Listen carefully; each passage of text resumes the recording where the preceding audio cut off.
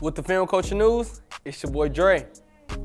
Rapper Travis Scott and longtime friend and tour DJ Chase B have officially opened up their apparel store, Space Village, over the weekend. Space Village first opened during Travis Scott's inaugural 2018 Astroworld Festival. During the day of the 2018 festival, Scott posted on Instagram and said, Me and Chase B always had the dream of opening a store in the city. We finally here. It was only a pop-up shop then and came back as a pop-up shop again during the 2019 Astroworld Festival.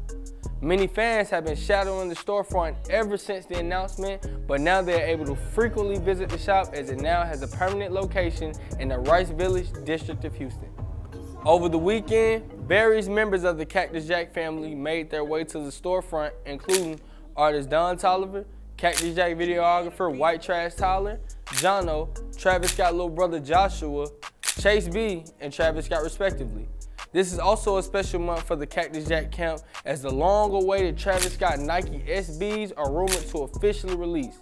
In honor of the celebrated shoe, Travis also dropped a commercial for them over the weekend. I'm trying to catch this shit. But I'm catching multiple angles. Niggas In addition to selling their own branded merchandise, Space Village will also sell apparel from Infinite Archives, Online Ceramics, and Ready Made brands that are often donned by the Cactus Jack gang. This is a dream come true for the duo.